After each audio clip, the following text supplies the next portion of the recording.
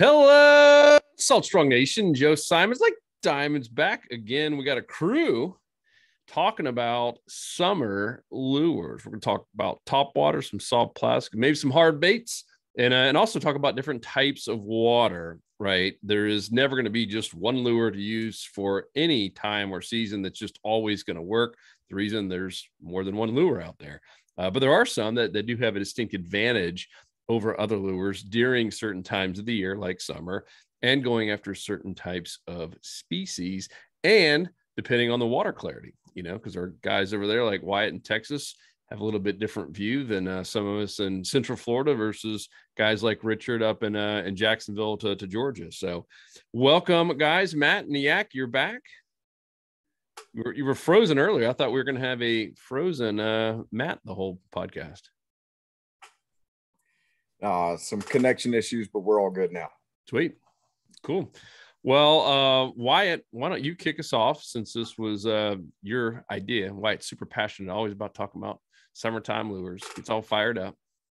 Oh yeah, I, I just like talking about the different presentations you can give because each season presents a new set of opportunities, challenges, different baits to match, things that happen commonly. So with summer, really the big kind of keys to hit on is we're coming out of spring. You've got a lot of small bait fish that showed up in the spring and they're starting to get a little bit larger. Winds are starting to calm down a little bit from the terrible winds we get in the spring. And summer is probably when we have the dirtiest water just because the warm water, I guess it influences more algae blooms or something. Uh, whatever it may be, it seems like the dirtiest water I tend to encounter happens around summertime. So, knowing all that, all of my presentations are going to be focused around kind of shallow water fishing. Redfish seem to be the easiest thing to target in the summer. So a lot of times I'm up really shallow. Uh, I'll talk about some other presentations you can give for other species as well. But my main lures that I always have tied on are going to be shallow, kind of mid bait, mid-sized bait fish presentations. Uh, and I will have some color variances that allow me to fish in some dirty water, yeah, whether that be just a, like a slam shady white that's got a little bit of sparkle in it, or I'll have like that gold digger color that's more kind of imitating like a gold spoon. Uh, just because you, you will find a lot of situations where that water's got some tannicness to it or a little bit of sediment in there. But, you know, really just sticking with small bait fish presentations that are kind of getting a little bit larger, three to four inch um, minnow presentations. Uh, I also really like top water in the summer. This probably summers, I think top water's main season just because it gets so hot. The bite window is so focused early in the morning, and it's probably the best time of year to be throwing top water because really early in the morning, those fish are fired up trying to get that feeding window in before it gets too hot to feed during the middle of the day. So that's really like kind of the big keys for me is I'm, I'm just trying to maximize all the conditions and opportunities uh, that summer gives me with all those different presentations. So if you could only have one, one lure to fish for the whole day, so this kind of eliminates top water, assuming you're not going to use a top water lure the whole day. One lure in summer in Texas.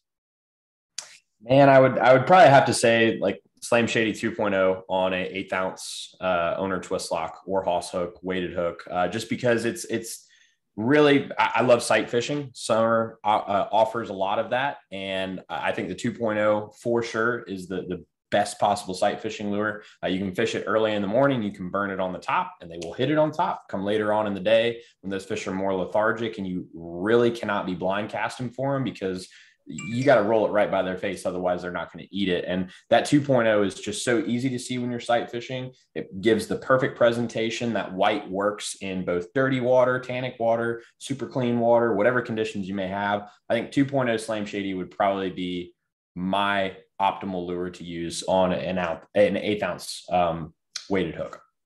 Works everywhere. Works on all types of fish. There's been, I think there was like three insider reports over this past weekend where people caught like Mondo, like PB best bass using the Slam Shady 2.0. And I think one guy was like shocked. He's like, I can't believe these work in freshwater. Heck yeah, they do. Bass uh, annihilate those things. So we had a meetup here in Texas, and the, there was a full slam that got caught by multiple people on this lure. I had I, I, had my first really good flounder day in a long time using the 2.0, just rolling it over potholes, letting it settle, and then was like, "Damn, caught a 20 inch flounder this weekend," uh, and a bunch of other ones that are a little bit smaller. Uh, tons of redfish. The trout were all over it as well. I mean, it it's literally the only like if you could only go out with one, I would definitely say 2.0. Love it. Tony, move on to you. Right. So I would definitely agree on the 2.0, Slam Shady 2.0. Uh, over where I fish in Florida, you know, Mosquito Lagoon, Indian River, Banana River. In the summertime, we do get a lot of that dirty water as well because of the algae blooms, and we get a lot of water runoff. So the water dirties up.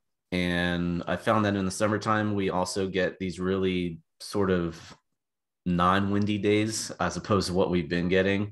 Uh, you know, it could be dead, flat, calm out there. And using like a jerk shad, like the Alabama leprechaun, using that to really work an area, you know, you can still cover a lot of water with it and work an area thoroughly uh, with a jerk shad, even in dirty water. Because, you know, if you're fan casting an area, you want to cover every piece of little structure that you can. You know, if you see a little tree limb sticking out, make a cast to it. It's more of a subtle presentation, especially for those fish that a little bit more sluggish in the summertime, especially when the water is really warm and you know it's flat calm out there. Working something really slow can definitely help. And fishing a, you know, like the paddle tail, like the Slam Shady 2.0, fishing it like a jerk shad, you know, casting it out, letting it sink, bounce it a couple times, let it pause. That can help too, especially in dirty water because you know it has that tail, adds a little bit extra vibration if the jerk shad's just not quite getting the fish's attention. It's good. Uh, Pat, what you got, dude? Pat, where are you right now? By the way, Pat is our. I am. I'm actually over in uh, uh, Tony's neck of the woods. I'm in Cocoa right now, kind of back home. So uh, yeah, it's uh, it's it's good to be back. You know, it's funny. I've been gone six months, and I come back, and it's like nothing happened. But water is a little bit cleaner here than when I left, so that's uh, that's actually a good thing. Good. A little more grass, looking looking pretty good. Um, but uh, you know, th- this is one of the disadvantages of going after Wyatt and Tony because I completely agree with what they would say. Uh, that's my, you know, my two favorites are the uh, the Moonwalker, you know, a topwater lure, and uh, then whenever that bite dies off, is going to a paddle tail, and that 2.0 is is my absolute confidence bait. Um, you know, as you know, I've been you know driving all over the southeast and the Gulf uh, Gulf Coast, and that 2.0 has been producing in every single state, and I absolutely love that lure. Matter of fact, I was um, I was filming some uh, tips this morning in the Banana River, and I was skipping that 2.0 underneath some uh, mangroves, and uh, and sure enough, I had some follows by some reds. I couldn't get them to commit, but you know they were they were definitely interested in it. But uh, but yeah, absolutely. And those uh, those Hoss Helix hooks, uh, that's been a game changer. I love those things. That that extra wide gap lets that plastic slide down on it. But but yeah, I, I really um, yeah, I really agree with what they're saying. I mean, I don't have much to add. And what Tony said about the um, when it's calm water, uh, going to that uh, that jerk shad, uh, that actually uh, is, is a real good technique because sometimes that paddle tail, when that uh, when that water is super calm, fish can get a little bit skittish when they have more light penetration. So going to something that is more subtle, uh, even a smaller profile, that sometimes is the the ticket to to produce. And then also, you know, the Ned rig, you know, going down to a nub with that mushroom jig head, that's all, all, also a go-to. But to answer the question, if I had to have one, I would have to say the uh, 2.0. That would, So that would if- be my go-to if I had to throw it all day long. If you guys don't know, Pat is our full-time fishing coach who is traveling and living in an RV with his wife, and uh, they went all the way to Texas and then back, and now going to go up to Virginia and back and and fish the whole way. Um, and so you just got back from the Texas to back to Florida trip. What states did the Slam Shady 2.0 work in, Pat? Uh, the, the 2.0 was a good size and everything, but uh, it seems like the Slam Shady color uh, worked better in uh, cleaner water uh, with brass. Now, once you got into uh, tannin water or slightly stained water, like, uh, um, you know, I don't want to offend anybody in Texas, but that, that off color that they have there, uh, it seemed like the gold digger was really uh, a money color. Uh, I, I caught a lot of fish on the gold digger in Texas and uh, that one uh, that one was great. And then the panhandle where I just left fishing with Matt up there, uh, the Fred in that in that tannin water was just it was money. It was that that was a that was a great color.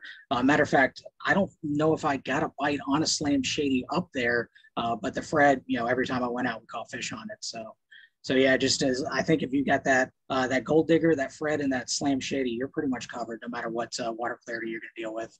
Even in the Texas doo doo brown color, I think is what you're looking for. well, no, it's it, the, once you get past like uh, Houston, you get further south. It's like a greenish color. It's kind of it's kind of odd, but um, you know, it's not that it's dirty. It just has sediment in it, and uh, for whatever reason, I know the Slam Shady uh, works there, but that for me, the Gold Digger worked really well. I lived I lived in Houston, so I was a Texan. Texan. I was a Texas resident for quite a few years, and I remember the first time I went to Galveston, it it was brown, like to the point yeah. my wife did not really want to pee in the ocean. Uh, and normally she has no problem peeing in, even in pools. She, you know, she'd be embarrassed right now, but uh, she's not here. Fortunately. Yeah. I think I think Galveston is kind of where it starts. Once you get south of that, uh, you're you're a little, little better there. Yeah, cool. Well, now that you're back, don't take any of Tony's fish, or he will put you in a headlock, and then all of a sudden we won't have Pat anymore. Hey, I, am just trying to keep up with him. I'm not taking anything from him. I love it. All right, Richard, what about you? So Richard's up more in the northeast, and, and not meaning like not New York northeast, but northeast for kind of our uh, our area. What's uh what's your go to here in the summertime? Yeah, so I'm gonna try and narrow it down because in the summer there's so many different types of bait. But uh, two things that I kind of uh, go by is one is going to be size, uh, and then the other thing is going to be kind of a little bit on color. So for me, the 2.0 gold digger would be the one that I couldn't live without, that I would have to have. And again, like what Wyatt was saying, in the mornings, I really like doing some sight fishing. The winds usually aren't as bad in the mornings. So you can get a lot of really good opportunities. And that 2.0 gold digger, especially on like a the Hoss Helix hook, is a really, really good option, um, especially if you're around a bunch of oysters and stuff like that. But the other one that I have um, is going to be the Power Prawn Junior. Um, also a great sight fishing lure. Um, better for if it's a little bit cleaner water. Like recently, we're having a lot of rain, so I'm probably going to stick more with that gold digger color. But in the mornings as well, um, in the southeast areas, kind of or northeast Florida, where I'm fishing, a lot of the times, you know, I'm using a smaller profile bait kind of in those back creeks and those backwaters because those fish are a little bit more active in the morning time. But then as the day progresses, I'll start moving out to some bigger water and bigger bays or your sounds. And that's when I like using some of those bigger baits, such as the bomber um, and the full size power prawn. Um, and those kill it closer to the ocean side. Those bigger profiles just tend to do a lot better. So it's really the same thing. I'm just moving to a bigger profile. But, uh, and the cool thing about every single one of those, you can put it under a popping cork. So uh, that's why I keep those with me because uh, they, they are always going to work under a popping cork. The cork man. Yep. Cool. every time. 70% of the time. 60% of the time. yes. Matt Niak, eight rods in the back. What lures do you got in the back? What's, what's your go-to well, up there? Uh, well, um, I can tell you going after all of these guys makes it really tough because they've kind of hammered away at everything. I want to say, you know, first thing in the morning, it's got to be top water, most definitely. Um, every day, uh, it doesn't. I don't care what the water looks like. I'm throwing it because in my area, Pat can attest to it. They will hit up top, no matter what that water's like. They uh, they will hit. Um, but uh, you definitely, it's just you got to dial in that cadence, that presentation. Um, but uh, after that, um, for sure, just like Pat said, for me, I don't think there's any secret. It is Fred the paddle tail for me every day, all day. Uh, that is the number one performer for me in my area, and the reason is is because it's so versatile. Um, Pat even talked about the nub rig. I do that regularly. If I lose a tail, it does not come off of that hook. I'm still throwing it because I'd say 80% of the time I fish my paddle tails like a jerk shad anyway in my area. Um, so I it doesn't it, it doesn't affect it at all because I'm I'm gonna I'm gonna fish it with a twitch twitch pause anyway, or or you know throw some twitches into the retrieve. So um, that Fred with my watercolor um, is is money uh, absolutely money. If I can, uh, if I'm going to do it with a nub rig, uh, like Pat said, that Z-Man Pro Shrooms on a 10th ounce is, is really good. Um, but being able to keep it with a paddle tail on a Hoss Helix hook, just like Pat mentioned, that wide gap really uh, allows you to stay buttoned up um, on, on a lot of those fish that, that may have had a chance at probably shaking that hook um, had, had it been a different hook. So those would definitely be um, my go-tos. And just like Richard said, I also am a fan of the popping cork uh, because, like Tony mentioned, first thing, uh, our water can get a little dirtier in the summer months. You know, we're getting a lot of runoff and we're getting a lot of washout. And Pat was actually with me just recently and has watched me pull in some pretty good fish with these Fred paddle tails under a popping cork. So um, it's so versatile. Um, and, and I think it just works really great for me in my area. Uh, so well that uh, me and Pat have even named it the uh, lure to use in a local tournament uh, soon. So maybe the guys near me will figure out how good this lure really is uh, in this area um, because it just continues to perform for sure. And, and talk about your area for those not familiar with uh, the places you're fishing. Yeah, I'm I'm in the Big Bend Panhandle area. Um, I'm from Tallahassee, so I fish uh, Panacea, Wakulla, uh, Steinhatchee, St. Marks, uh, all the way to Port St. Joe, Panama City, uh, Carrabelle. Um, I I'll, I'll load that yak up and do some traveling, but um, you know I cover a pretty good range of water, and I can tell you, in all of that, um, the Alabama Leprechaun and the uh, the Fred Paddletail are the two highest producing lures um, on a consistent basis for sure. Cool. And if you guys are listening, Matt was holding up 100 pack. I would highly encourage you once you find one or two of these lures that are your confidence baits, buy a 100 pack. It'll save you tons of money. It's what every one of our coaches uses. Luke and I use every time we're out. I have my own little 100 pack. And uh, I know for Matt in particular, he uses it as a pillow. So it's so big, it supports your head and you wake up, your hair smells nice, like scented paddle tail lures. And oh, yeah, I can smell it from here. Woo. So good stuff. Uh, Luke, I got a yeah, feeling, I'll... I got a feeling I know what you're going to say. It's going to be slightly different. Yeah, so I'll I'll change that for daytime fishing. I agree spot on with with what they just said for the exact reasons they just said, where the water's gonna be a little bit dirtier. I've been doing a lot of the 2.0s and then also the bomber as well. Just if there's bigger bait, bomber, small bait, 2.0. Um, but I've been doing a lot of night fishing, so I'll I'll do like a little caveat for nighttime fishing. What I've been finding has been just absolutely amazing. Has been the power prawns. These these original power prawns at night, just like just this past weekend, went out to catch crabs for tarpon fishing, and there were a lot of crabs flushing out. There were also a lot of shrimp in there as well and uh, and so then we got it done with catching crabs. I always bring a rod out, and so I had some power prawns rigged up. Came up to a bridge. First four casts got hammered, like legit fish. Caught a slot snook, and then some smaller snook and jacks and stuff. But they're just totally dialed into these shrimp, especially at night. And so, so this has been something that I'm even daytime fishing too, but this is something I bring every single trip. It has been awesome. Even went offshore, uh, or I should say near shore slash offshore of the weekend and uh, that was doing great as well. Caught some grouper with it. Actually caught a mahi, my first mahi I've ever uh, caught out of the bay boat in uh, in 50 feet of water, which is crazy. Um, and it was just it was just getting action. So so those power prawns have been have been killer. Yeah, they're so versatile. What were you rigging it with? What size jig head when you're in 40, 50 feet of water? Well, for that, I have a, just a custom jig head that we're that we're working on. It's a prototype, and uh, so it's a half ounce, and I, I, we're making some heavier for the deeper water. And so the half ounce, I had to let I had to let you know basically feed an outline just to make sure that it got down to the bottom. Uh, but once we get the, the full ounces, it'll be it'll be good for up to probably 80 to 100 feet. But that's, that's what I was using. But for the bridges, the bridges have been like 10 to 15 feet of water, and uh, and just these hooks. This is one that's all all pretty banged up. This is one of the uh, the Z-Man uh, mag shrooms, and so you can get the heaviest ones, which is I believe three eighths ounce, and uh, that's enough weight to get it down there in the bottom.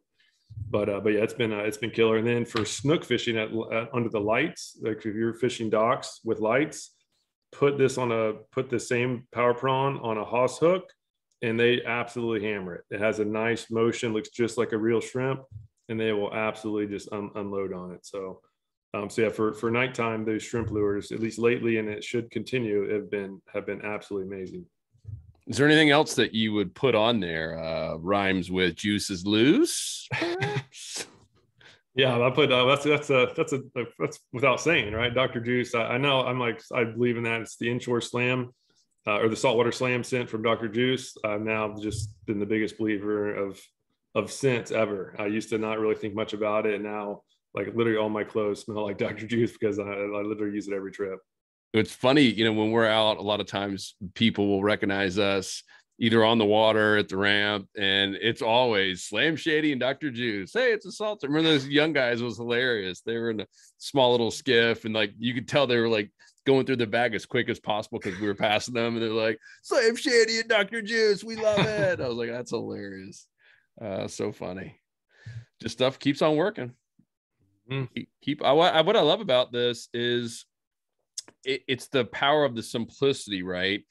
I, I've watched similar types of you know podcasts and videos like this where you have six to ten bass anglers on and every one of them says something completely different and it, right? And that's so sometimes confusing right? Because one guy says this the next guy says something completely different you you're done. You're like all right i don't even know what i should get. I guess i should just buy all 10 lures uh, where this was pretty consistent uh, across you know different states which is uh which is pretty uh, pretty awesome. Um anyone else have you know other things they uh like to use of certain colors or any tips on hey if this isn't working right? Because that does happen certain days times a year where your tried and true your confidence lure like a slam shady 2.0 or or fred just isn't working the way you you want it to what do you guys do i've got one right here this is like a staple summer lure and that's just a spoon because i talked about how much i love my soft plastics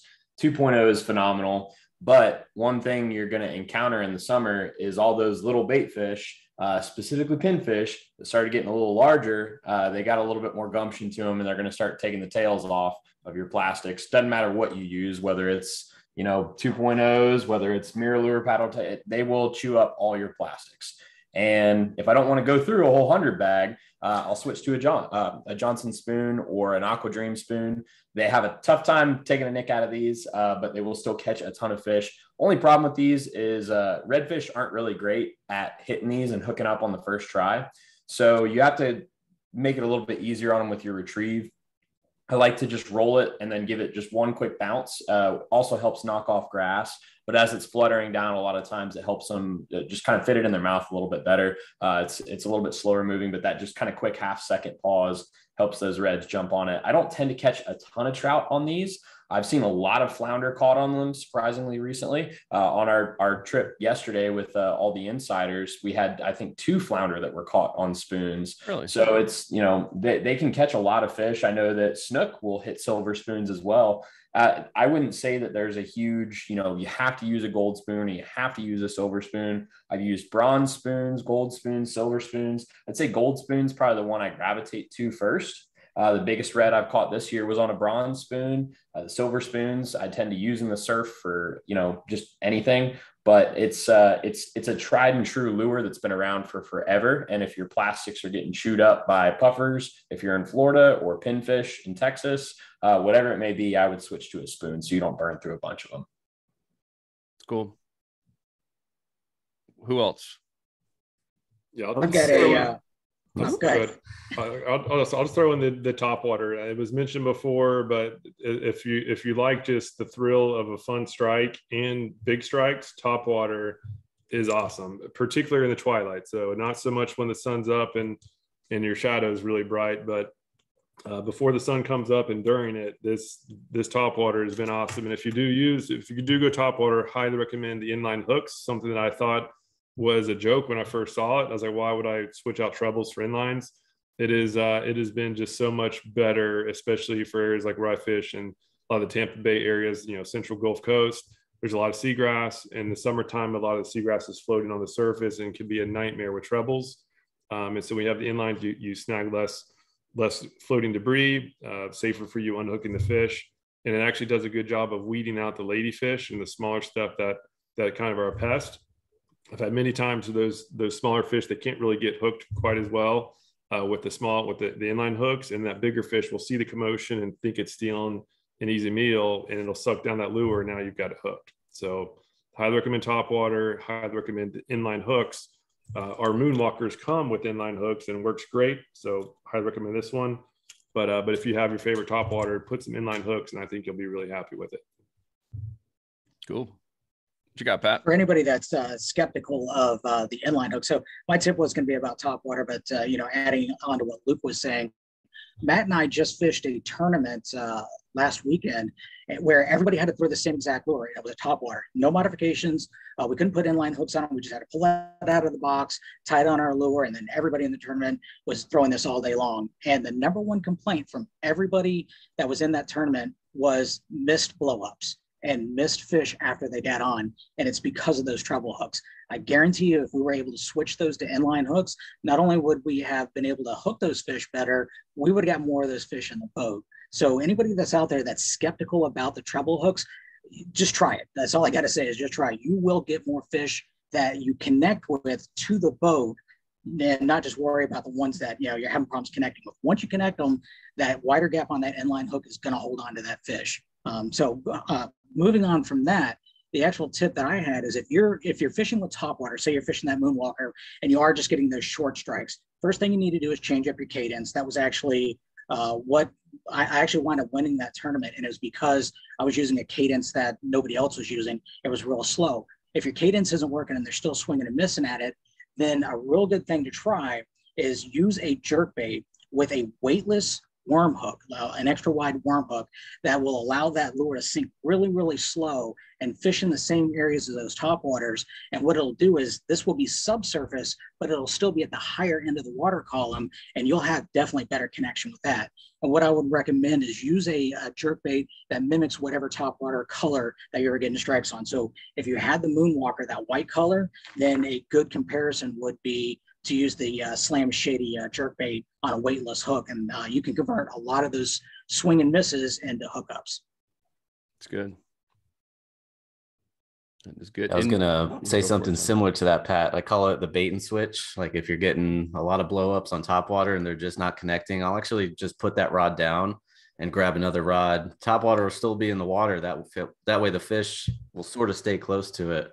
Sometimes I'll pop it when I put my rod down, but I'll basically just throw either a jerk shad or a paddle tail right where that top water is sitting, and it'll usually get hit by that fish that's following the top water. Bait and switch. Um, talk about retrieve, retrieval speeds, tempos. Uh, you guys all said something seems slightly different uh, with like the the 2.0 type of a stock, a three and a half inch paddle tail. What are you guys doing? So for me personally, uh, again, usually when I when I pull out the 2.0, I'm fishing for redfish. Uh, I find that redfish really key in on something that's consistently moving.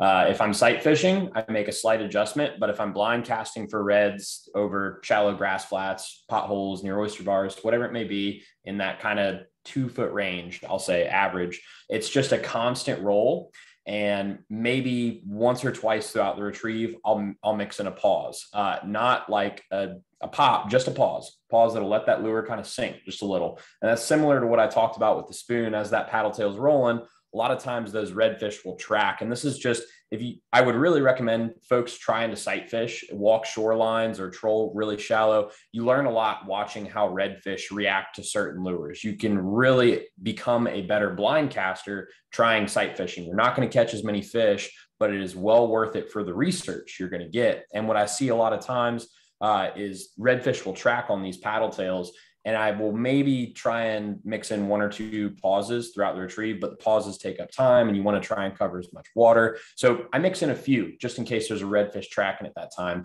But when I'm blind casting, it's mainly just a straight roll and it's about this speed right here. It's the it's generally the fastest I'm going to retrieve a paddle tail the entire year because the water temperature's up uh, the fish's metabolism is up. They have to eat a ton in the summer to keep up with it. So, what's going to happen when I'm sight fishing is when I see a redfish, the best thing you can do is pull it right past the dinner plate, which is about a foot in front of their face. And then, right when it passes by them, give it that drop or a pop, something that's going to change that lure's kind of traction as it's going through the water, that difference in speed usually triggers that reaction bite. That's generally how I get a redfish to eat every time. You just roll it right by their face. A lot of times they'll suck it down right when it's rolling past them. But if they don't react to it or they just kind of turn and look at it, give it that drop or give it a pop. And, you know, if you've got several fish you're going to encounter on a shoreline, you can test out what works best.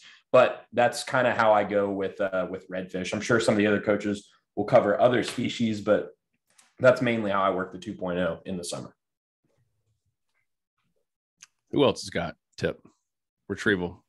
Yeah, for me, yeah, Wyatt was spot on with redfish. Um, and a lot of the waters that I fish, a lot of times you can't even see the fish; you can just see the wake. So having that little bit of extra vibration with that paddle tail, a lot of times you can tell they really do follow it. Um, and they'll either hit it, you know, if you kind of put it right in front of that dinner plate, or you just let it do that little pause. A lot of times they'll pick it up um, and they'll think they spook it. So yeah, redfish, I spot on. And for trout, um, I really, really do well on, and I did, I do this during the fall and the summer, but anytime that lure is falling. So I really like using lighter jig heads a lot of times for trout, um, just because it gives that the lure more time to fall and with a paddle tail it takes even longer. Um, so even in the fall you know in colder months that's a good time to do it. But in the summer it's still really good because in the summer a lot of times those fish do go deeper. And if they have a kind of a simulation of a dying bait fish coming down they will smack it. Um, so that's a really really good technique i like to use.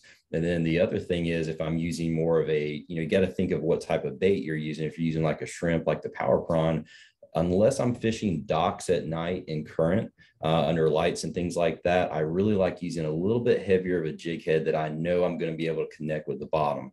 Because um, then you can kind of one make those little mud plumes or hit on top of oysters. And a lot of times that's where those little shrimp are going to be. You know, they're going to kind of be on the bottom really until a red fish or a predator fish comes along and spooks them. Um, then that's when they'll jump and you get to see them kind of on that surface. But for the shrimp type imitations, I like doing a little bit heavier of a jig to have them on the bottom. But uh, unless you're doing like what Luke is doing, I love using a, a weighted hook like the Hoss hook because you can throw those in a dock light and have them drift in the current and it is absolutely lights out no pun intended with that so. Hmm. lights out night fishing i get it. Another technique I, I i used to use this a lot it's called dead sticking and it's better with baits that have scent so if you're using a regular soft plastic have either dr juice or something you can put on there to scent it up or gulp. Uh, gulp works really well and what you're basically doing is you're just casting your lure out and letting it sit for quite an extended period at a time.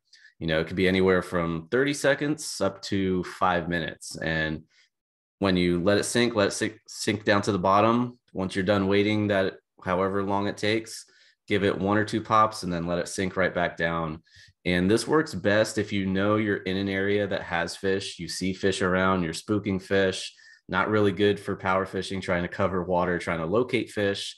But for an example, a few years back, I was using a, a gulp jerk shad and I knew there were big redfish in the area. So I just cast it out, sat it in the rod holder, and I was doing something, rearranging something. And within about two minutes, the rod bent over and I had a 40 inch redfish on. So that can be a great technique too for fish that are very skittish, very sluggish, and they'll actually use the scent to hone in on your lure as opposed to uh, you know the action of the lure. So just another way to go after them that way as well. Good. Really good when it works. Really good when it works yes. Yeah, it, it, does work as long as you're in an area with fish. It's just like when you're using cut bait or uh, dead bait you don't want to just throw out cut bait hoping there's fish around you because it could take forever or it may not catch any fish at all. So it's really more about being in the spot where the fish are. Even if they're not very active, it can definitely get them going. I remember seeing that insider report and, and you had the whole thing was videotaped. You cast it out and I think you were you're setting up like a mullet rig or something. Yeah. And, and then all of a sudden you can see that you hear the rod and Tony looks over and his rod's keeled over and the line's shooting out. It was a beast of a redfish. That was really cool. I'll I'll add one thing to uh, this retrieve and uh, and it's in line with what everybody's saying but but the depth control focus is that the depth control is crucial particularly once the sun's up and a lot of times in the summer the, the fish will pretty much be on the bottom. In many cases they'll they'll kind of shift out to a little bit deeper water. And if you're if you're not getting down there close to the bottom you're not going to catch fish. And you can have the best retrieve possible but if it's up here on the surface and the fish are on the bottom they're probably not going to come up and eat uh, they'll probably will in the morning or in the twilight period, which is why topwater is so awesome. But as soon as that sun's up, just make sure that you're that whatever lure you're using, whether it's the, the paddle tails or the shrimp lures, or whatever, just make sure that it's weighted properly so that you can effectively fish on the bottom. Most of the feeding is happening on the bottom, especially redfish. They like to pin their their their prey down against the bottom, and uh, and if you're not there, you're going to be missing out. So uh, we we actually have. If you need help doing that, we have a guide for matching the right weight, the right weighted hooks, or the right jig heads for all of these soft plastics we've talked about. And you can go to saltstrong.com and just uh, use the search feature uh, for like a depth depth guide, like lure depth guide, and you'll see it. You'll see it on there. Very helpful. It's a little printout you can even take with you. Um, it's such an important fact. We wanted to make sure that you that you had all the intel you need. Yeah, we've had some people laminate it, take it out, keep on the boat. Smart. That's good. What else, guys? Any uh any other cool, unique tips for uh for the summer? I know we'll have more podcasts about this, but we wanted to do one specifically just on lures. And thankfully, we did not pre-plan this. Uh, it was all pretty simple, right? You, you don't you don't need thirty thousand different uh, different lures. And uh, even uh, tomorrow, we're going fishing with Wader Day. We'll be weight fishing, and that's when you basically put just enough to fit in a fanny pack. And guess what? We're going to keep it super simple. I'm going to take Power Prawn Junior and Slam Shady 2.0, and that's it. And maybe a bomber, um, and maybe one gold spoon. Uh, but that that'll be it. And then some line, and uh, and we'll probably catch a ton of fish. Just keeping it simple. And you can find all this stuff at fishstrong.com. Insiders save 20% or more, sometimes even some BOGO deals. Got all kinds of cool stuff happening this uh, this summer for our members. And uh, and definitely check out the smart fishing spots system. It's uh man, it is the best tool I've ever seen for pre-trip planning to help you find new spots. And uh and now I'm using it for weather and radar and just the normal day-to-day stuff I was using anyways. It's it's so cool. Uh what else guys? Anything else that, uh, that we missed or uh, that would be helpful for summertime lures? I'll say there's probably one more thing. Uh, we we all touched on top water being a great lure to use in the summertime. One final thing I want to say is that a huge mistake I see people do with top water is that when they get a strike, they don't, you know, they they think, oh, either they didn't get the fish, they need to reel it all the way in, or they stop and they wait for the fish to come back. If you're not going to do that bait and switch method that Tony was talking about, uh, you need to keep working that lure. We've had a couple videos on this, but I always like anytime top water is mentioned, I just see so many people not know how to follow up after a strike. They get surprised and they stop working the lure. But uh, just make sure you keep walking that dog because what's going to happen, that fish is going to keep shooting, looking for that bait fish that's going forward. And a lot of times I've seen redfish pass up a top water that's been stopped uh, and they're, they're looking for it, looking for it. And then they just, you know, they, they're forgetting about it. So if you don't keep working it, that fish isn't going to keep striking it. But a lot of times, especially with reds, uh, it's going to take to the second or third strike for them to actually get that top water down. But no, it's uh, just make sure you keep working those top waters because now is a fantastic time of year to be using those moonwalkers and getting on a bunch of big reds and snook and trout um, early in the morning. I was going to yeah. say too, with most lures, you know, summertime, springtime, wintertime, doesn't really matter what time of the year. Make sure you're working them all the way back to you. You know, I've had fish hit right at my feet sometimes because they'll follow the lure if they're being very finicky, very picky. And right when that lure gets close to your kayak or your boat, they think that food item is trying to hide and use that big vessel to hide under. And so they'll go after it right before it gets to it. So keep that in mind too. Redfish are like, these fish are literally jumping into that boat. uh, it's good stuff, guys. Anybody else? Any final words? All right. Well, that sums it up then. Uh, summertime lures. If you have questions or opinions, thoughts, things we might have missed, things that you love using for catching our favorite inshore species, let us know in the comment section down below. And, uh, and as I said, you can find all this stuff at fishstrong.com. Insiders, make sure you're logged in to be able to see your discounts. And uh, we got some really, really cool things coming this summer. So stay tuned, guys. Appreciate you and we'll talk to you on the next episode. Peace. We out. Whoop, whoop.